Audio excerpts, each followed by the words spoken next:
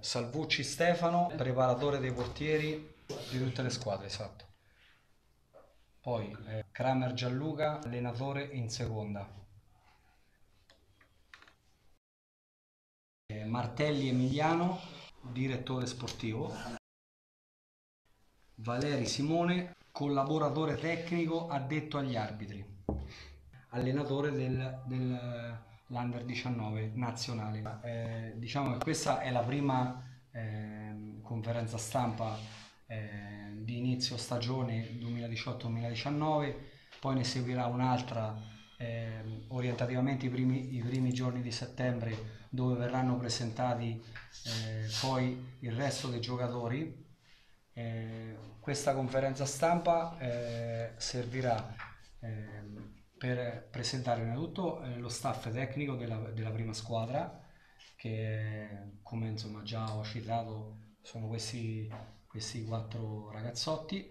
E inoltre eh, eh, per, per, precisare che eh, abbiamo iniziato un tantino in ritardo perché come sapete eh, abbiamo avuto dei problemi, dei problemi qualche problema economico eh, per la partenza del campionato perché è un campionato nazionale dove eh, insomma eh, andremo incontro a spese non indifferenti quindi c'era bisogno di una programmazione di, una, di, delle, di certezze più che altro.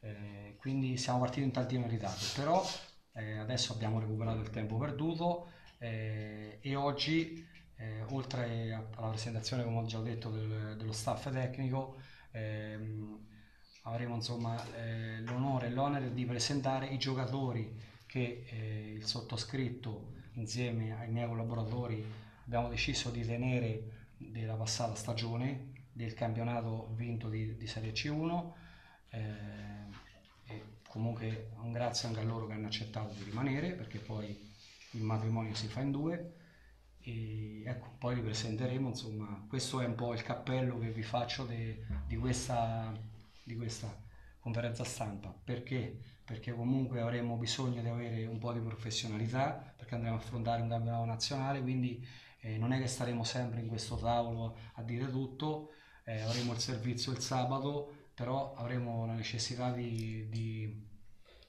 di, di, portare questo sport, di portare eh, questa disciplina nelle, nelle testate giornalistiche, eh, forse anche settimanalmente, insomma, in base alla vostra disponibilità, alla vostra, eh, le vostre eh, ingastri, eh, occhielli, eh, come si chiamano, quelli di spalla, poi... poi agli spazi, via, agli spazi. Agli spazi, insomma, adesso faccio le battute perché sì, sì. sono così. Eh, ecco, questo è un po' quello. Poi, eh, per quanto riguarda, ecco, vedo un po' le notizie de, del campionato che andremo a affrontare. Eh, poi se ci avete qualche domanda, insomma, tranquillamente. Eh, c'hanno, eh, diciamo c'hanno perché la divisione calcio a 5 di Roma eh, ci ha innescato eh, con un meccanismo ancora inspiegabile eh, in, nel girone di Lazio e Sardegna, con un'unica umbra, eh, siamo tre umbre solo a noi, penso sia il motivo solamente geografico, cioè la squadra più vicina, eh, la città più vicina a Lazio. E ci hanno messo in un girone ehm, a dir di ferro è poco perché eh, da, da, tempo, oltre che il Lazio è la patria del calcio a 5 dove è nato e dove comunque sviluppa un notevole movimento, eh, proprio il tasso tecnico è, è altissimo, ma questo una volta ingoiato tra virgolette questo rospo perché non ce l'aspettavamo nessuno de, della società, me, i giocatori, nessuno. Eh, molto probabilmente è stato fatto per dei capricci burocratici di alcune società che eh, non volevano comunque avere la Sardegna, di, di regioni sotto a noi e quindi ecco, fa, detto questo ci siamo rimboccati. Quindi il una ombra.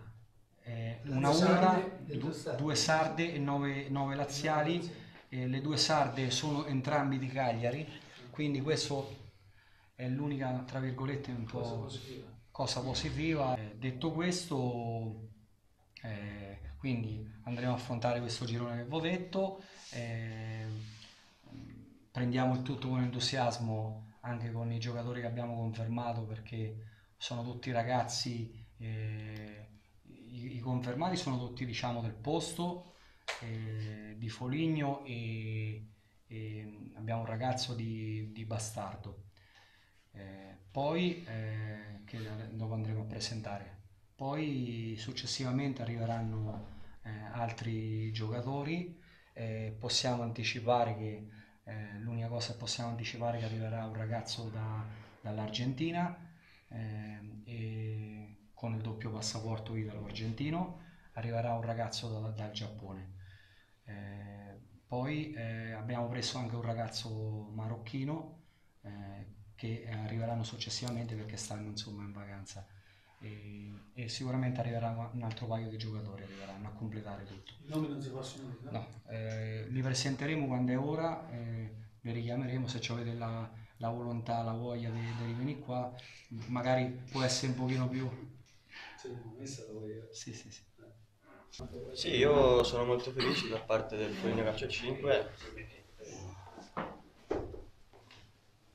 Come ha detto il mister andremo a affrontare un campionato molto impegnativo, eh, però con, con, l'entusiasmo di tutti i ragazzi, compreso me, e niente, ci faremo trovare pronti per questa nuova avventura. Per questa nuova avventura.